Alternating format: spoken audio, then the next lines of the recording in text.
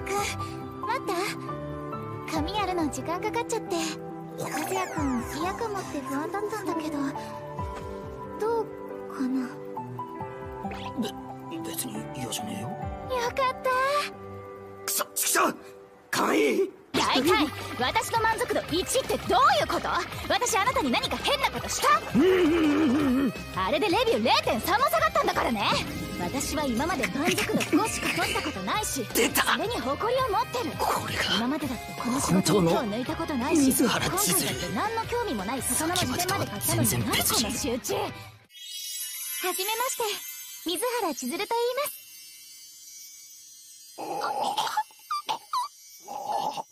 お見事こんな形でのご挨拶になってしまい申し訳ありませんよろしくお願いします私はレンタル彼女。あなたがどう使おうと勝手元カノの方が大切で当然だわ。それでより戻せたの？戻せなかった。それどころか嫌われるようなことまで言って。ほんとクズだよな俺って。いつまでもくだらねえ未練引きずって。一回キスしたら次のデートからお昼ニンニクでもお構いなしだし毎回手繋いでこようとするしご飯もやたら深夜までやってる居酒屋だしやっぱカズくんも男の子なんだなーって。マミちゃんその辺で。不快です。私の和也さんを悪く言わないでください。ノリなら何言ってもいいんですか？ちょっとお二人とも抑えて。カズくんからも謝ってよ。あなたも何か？俺いつもこんなだから。私帰ります。関係ないあんたまで傷つけて。ごめんな水原簡単に忘れられないから大切なんでしょ？ポイできちゃう関係より幾分マシよ。水原レンタル。続けてみたら？え？寂しくて死にそうな夜もあれば。またねでしか解けないバイバイもある。私でよければ相手するから。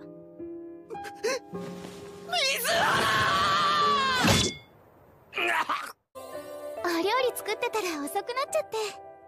なんでなんでここに？何言ってるの和也さん。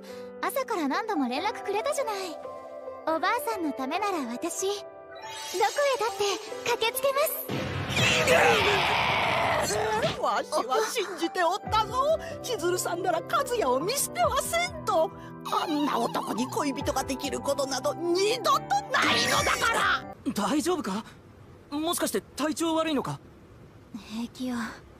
一晩寝れば治るわ。これで体裁が保てるなら御の字よ。もしもし？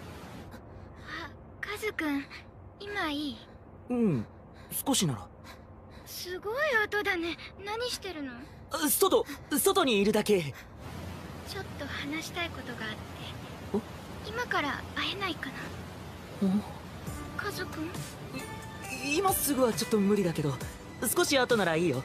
人が落ちたぞ！落ちた！乗客1名大丈夫か乗客1名大丈夫なのかよ？今ここにいた子よ。白いシャツ着た。髪の長い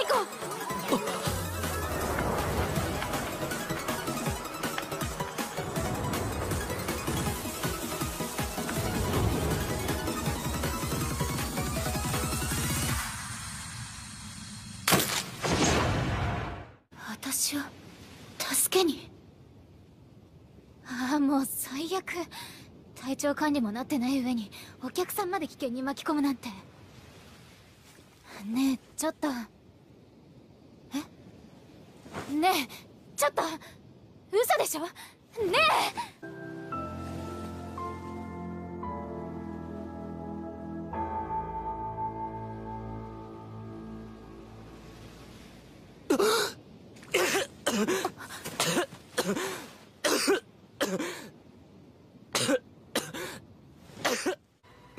水原そそのありがとな。そのあそこまでして助けてくれて。当然でしょ。彼女なんだから。ばあちゃんたち騙してるのは分かってる。水原を巻き込んで本当に悪いとも思うし明日には別れたって話す覚悟もできてる。でもさ許されるのならレンタルしたい借りたいんだ！君のこと！今日があまりにも折りが悪かったということは理解するわ。でも騙してる以上できる限り早くおばあちゃんたちが悲しまない形でお別れを伝える。これが私たちの至上命題よ。それにはそう。あなたが本物の彼女を作るとかがベストね。頑張ってよね。あなたの言う成長にかかってるから。私たちそういうこともまだですし。そういうこと？水原？なんじゃ？まだやっとらんかったのか？てっきりも二人とも多くてね。うじゃこれを機に。一気に。これを機にじゃない。水原の浴衣姿パネ。ーこんなこと。一晩二人っきりなんて身がもういいわ。楽しむ。は？じゃおやすみ。俺トイレでも玄関でも寝れるから。俺がいたらいい夢見れねえだろ。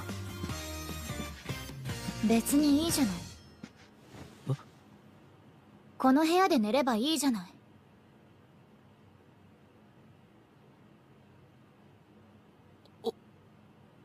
勘違いしないでよね。この部屋で寝ていいって言ったのは廊下で寝かすのがかわいそうだからよ。顧客は対価に見合ったサービスを受ける権利があるの。な少しでも手を出してきたら東京地裁に訴えてやるから。マジのやつだ。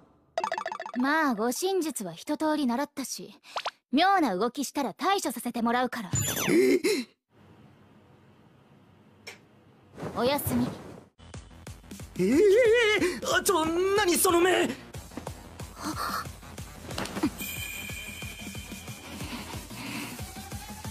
原！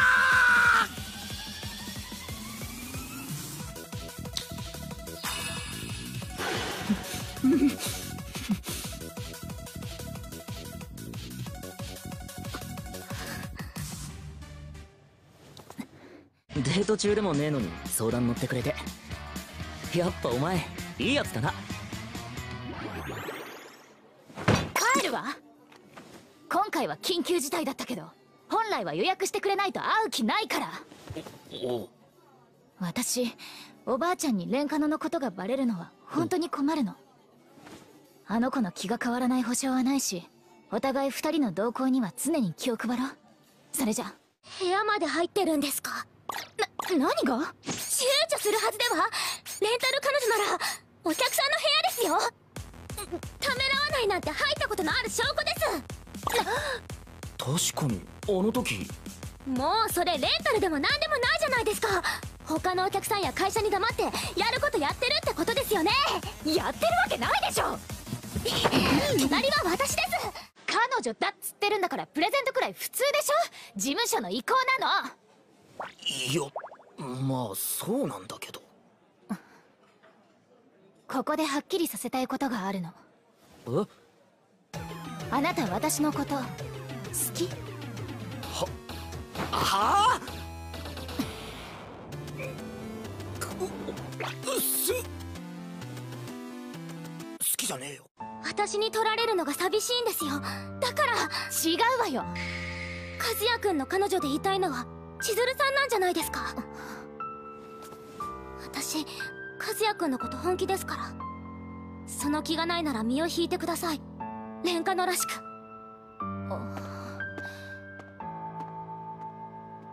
何よ。